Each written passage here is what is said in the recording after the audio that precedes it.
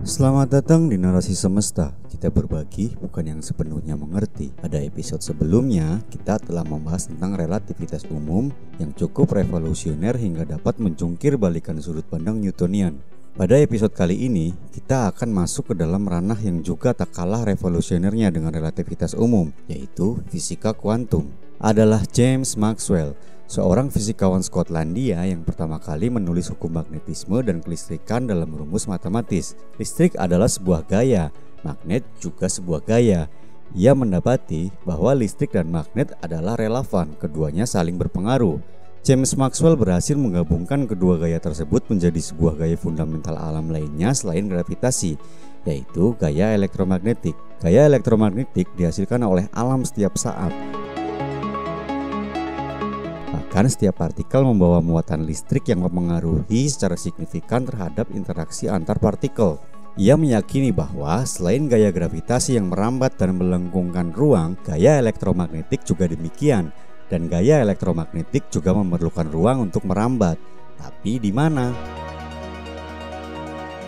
Untuk menjawab ini, Maxwell mengusulkan sebuah dimensi ruang tambahan agar gaya elektromagnetik tersebut dapat merambat. Einstein menerima ide Maxwell ini. Diterimanya sebuah dimensi ruang tambahan adalah sebuah momentum awal manusia dalam mengkoreksi cara pandang yang lebih baik lagi terhadap alam semesta. Lalu, di mana letak dimensi tambahan ini? Mengapa kita tidak melihatnya? Ilmuwan lain, Kaluza dan Klein mengusulkan bahwa dimensi tambahan ini sangat kecil. Bayangkan, jika kita melihat sebuah kawat listrik dari jauh, kita melihat kawat tersebut sangat kecil, bagaikan sebuah tali yang hanya memiliki dimensi panjang tanpa lebar. Namun, jika kita melihat dari jarak pandang yang sangat dekat, misalkan dari kacamata seekor semut, maka seekor semut itu dapat bergerak maju, mundur, serta berputar ke kanan dan ke kiri di badan kawat listrik tersebut. Inilah dimensi tambahan yang tak tampak itu. Kaluza dan Klein mengusulkan bahwa dimensi tambahan ini berukuran sangat kecil di setiap titik lokasi pada ruang. Karena saking kecilnya, maka ia tidak terlihat.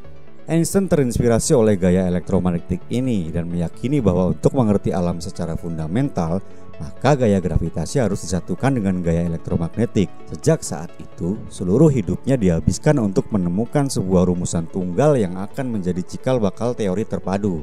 Sementara itu, fisikawan lain, Niels Bohr, memperkenalkan model atomnya yang juga diterima dengan baik bahwa atom terdiri dari inti inti terbentuk dari proton yang bermuatan positif dan neutron yang bermuatan netral. Di sekitar inti ini mengorbitlah elektron yang bermuatan negatif Di sinilah para fisikawan mulai berpikir pada semesta yang sangat kecil. Untuk mengerti perilaku alam semesta secara keseluruhan, maka orang harus mengerti interaksi antara partikel. Penelitian ini mengantarkan orang pada alam subatomik. Di sinilah lahirnya fisika kuantum. Jika teori relativitas menjelaskan alam semesta dalam ukuran yang besar, maka fisika kuantum menjelaskan alam semesta dalam ukuran yang sangat kecil. Namun pada perjalanannya, fisika kuantum tidaklah berjalan mulus seperti kelihatannya. Sebuah kontradiksi terjadi karena dalam ukuran semesta yang sangat kecil ini, gravitasi bagaikan tak punya gigi. Gravitasi tidak memiliki peran sama sekali dalam reaksi antar partikel. Dalam situasi yang dilematis ini, para fisikawan malah menemukan gaya fundamental lainnya, yaitu gaya nuklir kuat yang merekatkan inti atom pada tempatnya dan gaya nuklir lemah yang menyebabkan peluruan atom atau radiasi. Sejauh ini telah ditemukan seluruh gaya fundamental alam semesta. Mereka adalah gaya gravitasi, gaya elektromagnetik, gaya nuklir kuat, dan gaya nuklir lemah.